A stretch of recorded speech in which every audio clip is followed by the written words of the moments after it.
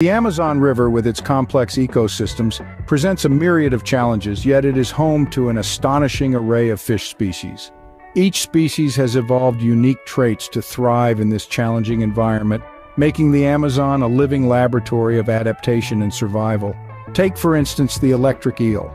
This creature is a marvel of natural engineering, having developed the ability to generate electric shocks. This isn't just any old static shock, though. We're talking about a jolt of electricity that can reach up to 600 volts. That's five times the power of a standard wall socket in your home. This shocking adaptation is used for hunting prey, self-defense, and navigation in the murky waters of the Amazon. Then there's the piranha, a fish that's become synonymous with danger due to its razor-sharp teeth and aggressive feeding habits. But did you know that these teeth are a crucial survival tool?